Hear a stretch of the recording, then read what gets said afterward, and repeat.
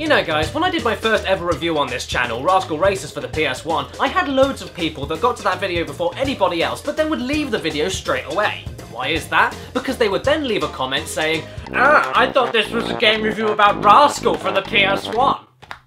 Well, first of all, thanks for reading the title of the video, you dumb shits. But secondly, that made me extremely curious about this game. I mean, apparently it was one of the worst PS1 games ever made, and I had never heard of it. Well, if this game is really that bad, I better prepare.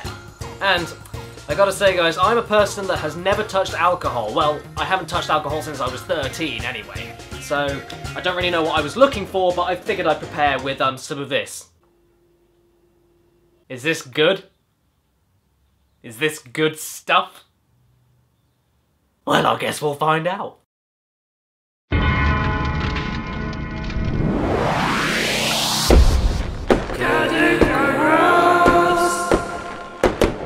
Greetings and salutations, my beautiful people, and welcome to the Caddicarus Show, where I always have to do the dirty deed of deciding whether or not a game deserves to be slaughtered or salvaged.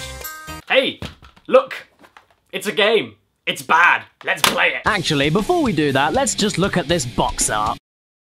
High hopes, I've got high hopes, I've got high apple pie in your eye hopes. This box art is truly worthy of framing and hanging up in the fucking Louvre for future generations to marvel at and glimpsing into the world of the 1990s. In one image, you can just smell the age of a decaying decade reeking off of it. This kid here this kid is a fossil. This cover truly fascinates me. I'm not even joking here. This is like a time capsule, a gateway into an alien world which rooted up and died quicker than hamsters usually live for. And it's horrendous. The main character designs for every model in this game were actually made by the Jim Henson Creature Shop, so what the hell happened here? The Dark Crystal. This. The Dark Crystal. This. You see what I mean? I haven't even taken a drink yet and I'm already throwing up.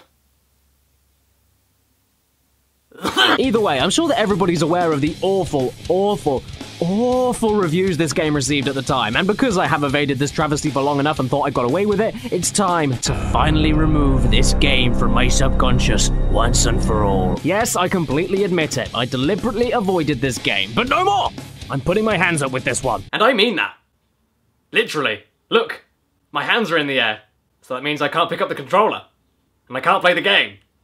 Huzzah!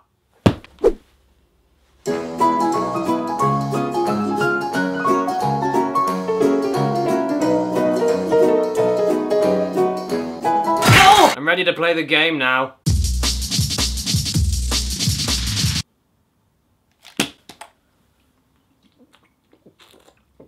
Wow, I am legitimately lost for words right now. Like, I have nothing, I repeat, nothing to say about this menu. That thing is worse than the moon in Majora's Mask, and it's it's trying to be happy. How does a happy moon look worse than this? I don't know, but Rascal found a way. And after actually playing the game, I can't tell what's worse, that menu screen or the actual damn game itself. I can't even begin to describe how it feels to play this game. The main guy you control in this game has no free movement, and he kind of moves similar to the way Croc moves, you know, picking up momentum and needing to steer left and right instead of just moving the analog stick or D-pad wherever you want the character to go. And yes, Croc is indeed very, very flawed, as I've discussed before, but at least all the levels in that game are wide open and built around that control scheme. But look at this! Every stage in this game is cramped, claustrophobic, hard to navigate, and when you throw other enemies into the mix, you will cry. I mean, I mean, look at this!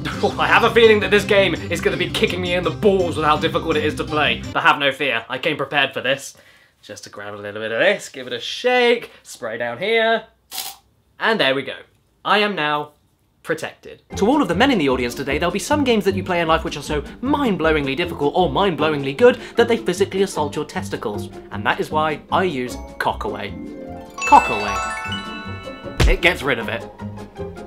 Apply now. And hey, it's a good thing that I did because this game is just unbearable to play. The main objective, as far as I can see, involves jumping into, admittedly, one of the coolest graphical PS1 effects I've ever seen, to then explore some levels that involve defeating enemies and finding every part of an hourglass to then return back home. Rinse and repeat, etc., etc.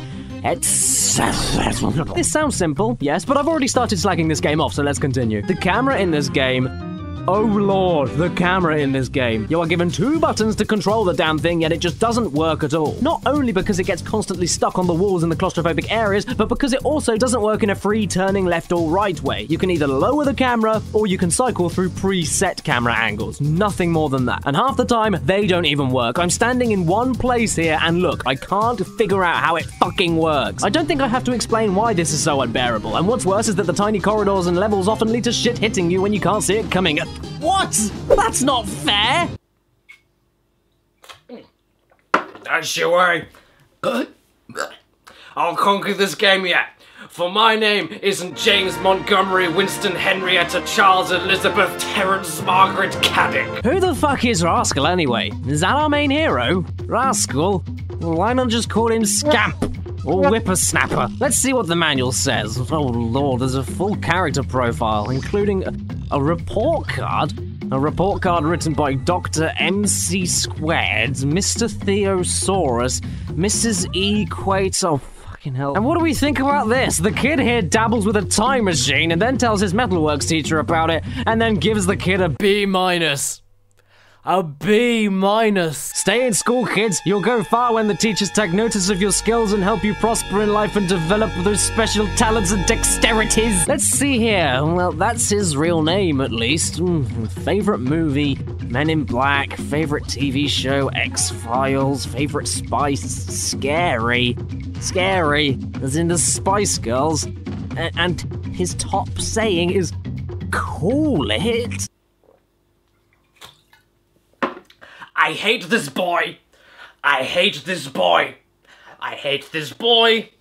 I bait this hoy. As far as attacking goes, don't make me laugh. You have a bubble gun to shoot your foes, but the fucking thing is close to useless if that surprised you in any way, shape, or form. Do you remember those dicks from school that acted like dicks because they called nerds dicks for the way that they looked, and then years later those dicks started dressing and acting like those people that they used to call dicks? Well, that's what this game is. The enemies all have the same strategy. As soon as you hit them or they see you, they just run after you. The exact same pattern with any enemy, no matter what weapon they're holding. And because of this incredible level design, some enemies even get stuck along a train track once you set them off because they can't turn themselves around. What is this? It takes way too many hits to kill anything in this game, from big or small enemies alike. And yes, you can find gun power ups like homing bubbles and more powerful bubbles, but when the goddamn camera is built like this and the areas are so damn small, you have no room to move, no way to control the camera, and no way to see what's actually happening around you, and your adventure is bound to end in seconds because just look at this!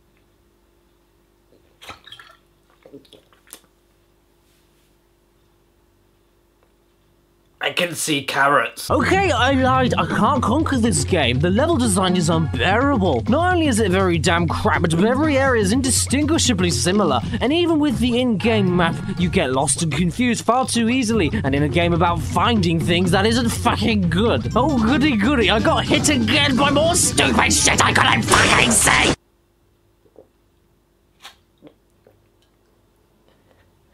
I'm at the seaside. The thing with Pascal Sauvage is that it's not exactly a fun game in the slightest, which is a shame because there are hints of a good game sprinkled in here, like a load of happy little flies jumping out of a piece of poo. The game doesn't look so bad, and the music's actually pretty good.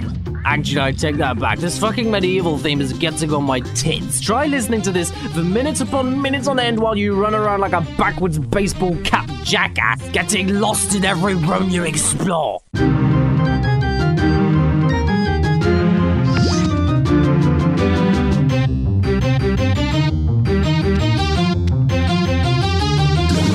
And don't get me started on the water controls. I can't even describe how nauseating they are.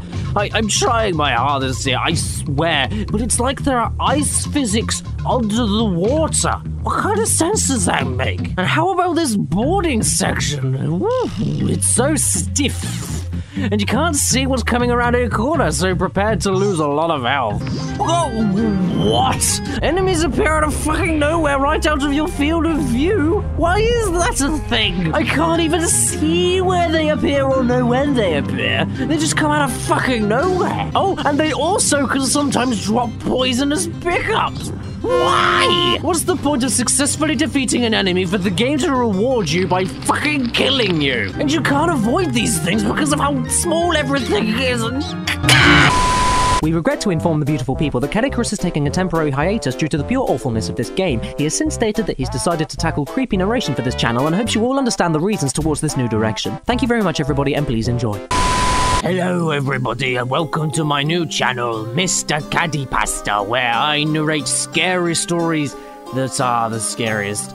And here are my top 10 scariest SCPs to begin this whole thing off. Number 10, SCP 2125, Object Class Euclid. SCP 2125 is an average looking music box.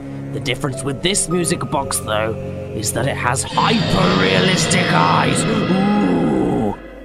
And a mustache. Anyway, when any sentient being decides to turn the crank of this SCP, the song Living on a Prayer by Bon John John, John Bon Jovi starts playing. But not in a blinky blonky music box kind of way, no. It actually plays the entire song in realistic CD quality. This would be creepy enough. However, if one decides to keep turning the box when the song reaches the key change just before the third chorus, because of how fucking awful that key change is, the music box kills fucking everyone in a three meter radius with lasers! I forgot what I was even doing. Um. Hello, everyone. Welcome to my show. Roll the intro you know, the intro to my show. Yeah, you know, the one the one that goes Oh hey, look a boss battle! He's a big smelly goat. He also looks very cute. I, I don't really want to hurt him. So the main objective here is to wait for Dragon Falls to breathe fire at you, and then you run behind him and shoot his back. But look at this camera! And the heavy steering controls just make this whole this whole bit is unplayable. And look how long it takes to beat him! And what do you get for beating him? Nothing!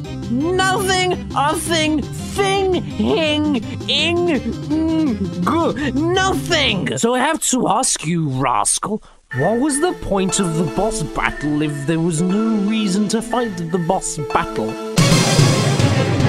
Look, I found a shitting button. Look, Rascal is shitting in the fucking air. He's funny.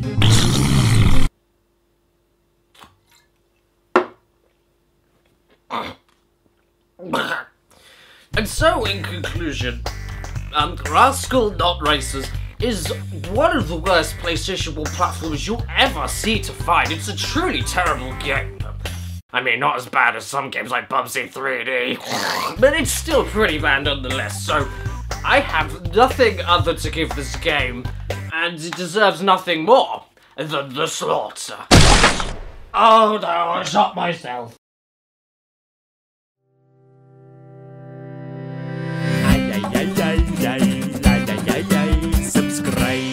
Hello there everybody and thanks so much for watching my stupid, one of the dumbest videos I've ever done on the video game Rascal on the PS1. If you enjoyed yourself, then please show that you did by leaving a little like for me, that would help me out a huge amount, and consider subscribing to my channel because I upload two videos every single week. How exciting is that? Well, you know, apart from when I'm ill or on holiday, but other than that, two a week, that's awesome. And if you look in the description, you'll find all my social media links, Facebook, Twitter, my Twitch page, because I'm streaming a lot more recently. Um, yeah, so if a video doesn't go up or you want to see the updates uh, like real time as they happen, then follow me on Twitter and Facebook. That's where all the updates go. And um, you'll also find my Games Grabber collection down there. So if you want to see what games I've been buying, what games are on my shelves, what games I'm picking up, updated on a daily basis, then go down, click on that little link. Maybe you could buy some of them yourself as well. You can get them straight from the site. So that's very nice. And um, yes, yes, as always, if it's your birthday today or watching this video, happy friggin' birthday to you, and please remember to stay beautiful.